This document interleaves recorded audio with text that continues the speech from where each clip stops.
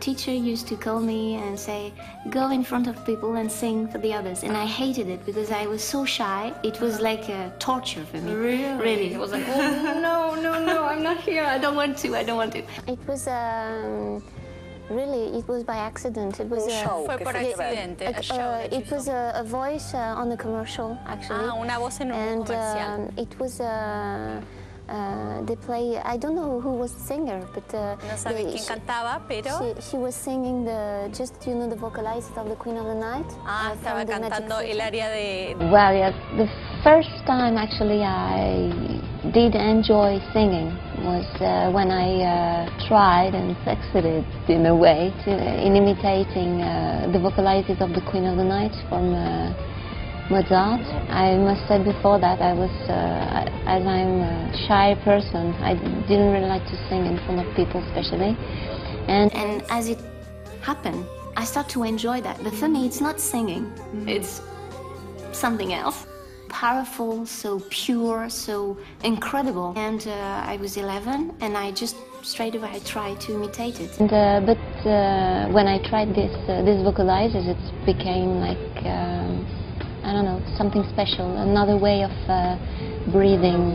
Then Through singing, it was easier for me to communicate something else. Maybe something that could be more precise than sometimes words. Also, it was an, another way of expression for me. Uh, well, I started uh, studying uh, classical and well opera lessons and uh, singing lessons. And then, uh, well, because I had to stop, then uh, and I was teenager, I joined um, a hard rock band for a while and uh, start to uh, scream more than singing actually. that you smoked so much. Well, because uh, well, um, I started to uh, my uh, opera lessons, and then for many reasons I had to stop. Empezó con, So, um, con lecciones de ópera y por varias razones tuvo que parar.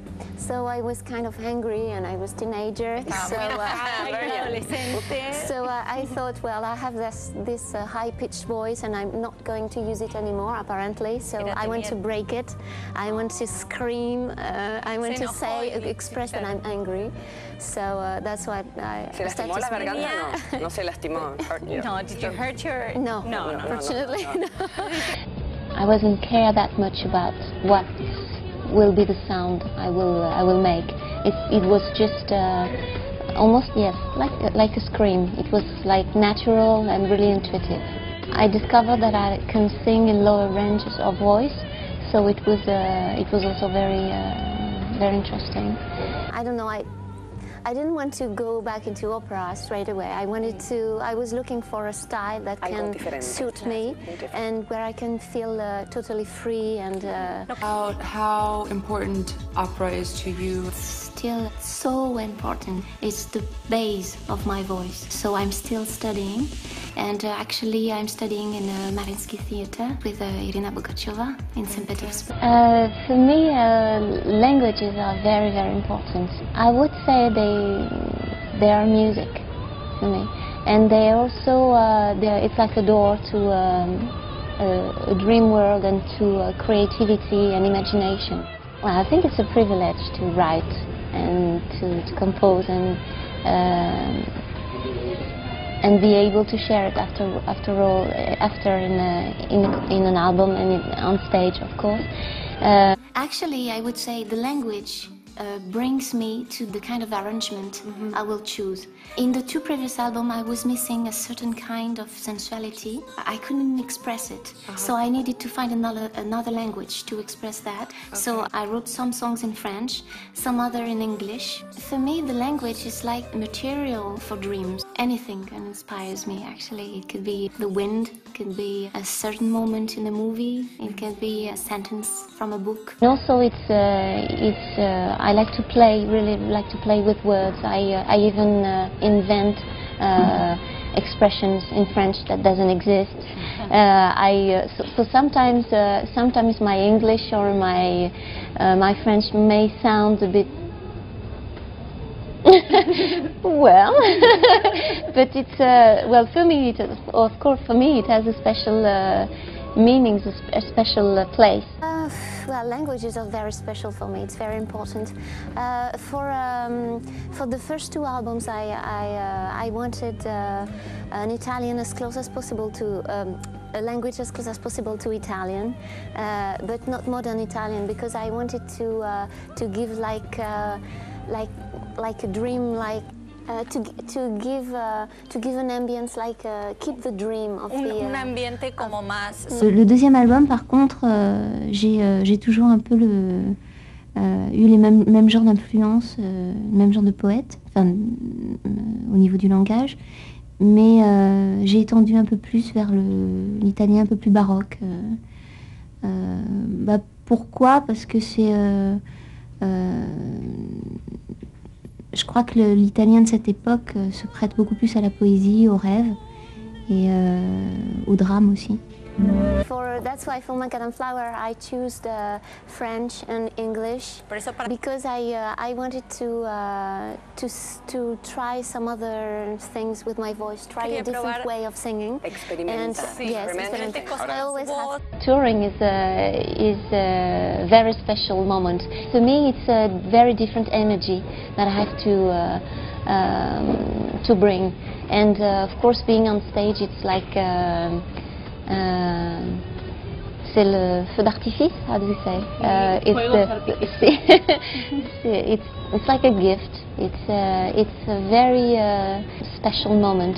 Que es muy visual. How do you create on stage your different characters? Because your music is, is very theatrical. Uh, it's uh, it's difficult to explain that. It's uh, mm, I don't know. I, it's just uh, it's very intuitive at the beginning. Muy and difícil de then, explicar, muy intuitivo mm, eh, al it's principio. uh, Por ejemplo.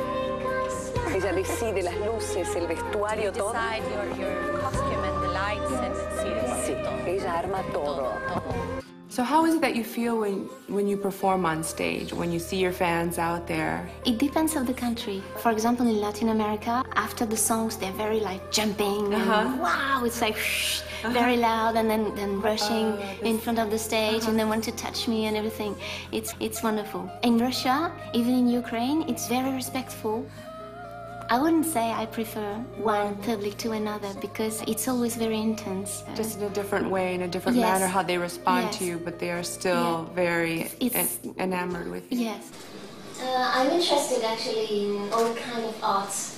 So uh, I just start again to paint, and uh, it's a real mess in my house at the moment because of it. And um, I like photography as well, and um, but not only architecture, um, sculpture, um, literature. Um, so, so many things.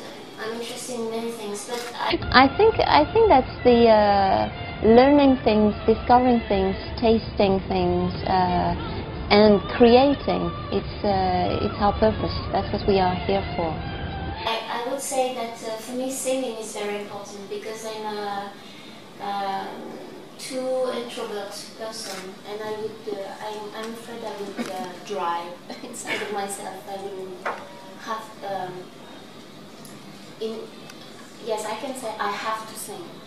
It's it's always a difficult. Uh, it's always very difficult for me to get into this mood of singing, but it's uh, it's necessary for me.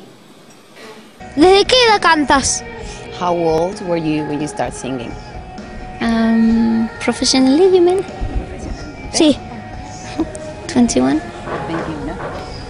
¿Quién es tu ídolo? Who is your idol? Um, Fuji. ¿Te portabas bien cuando eras chica? Did you behave well when you were a little girl? Uh, not always. No siempre. No siempre. ¿A qué jugabas cuando eras chica? What did you play when you were a little girl? Many things. Climb trees. I was uh, Cosas, uh, making things like uh, little things like houses, uh, Chiquitas como casas, little clothes. ropa chiquita. I can't be bored. Never. I'm interested in things all the time. I think life is wonderful. There's so much beauties, so much incredible things all around us. There's so many things to try, to experience, experiment, to taste, to touch, to, to look at, to uh, feel. Thanks to you. Thank you.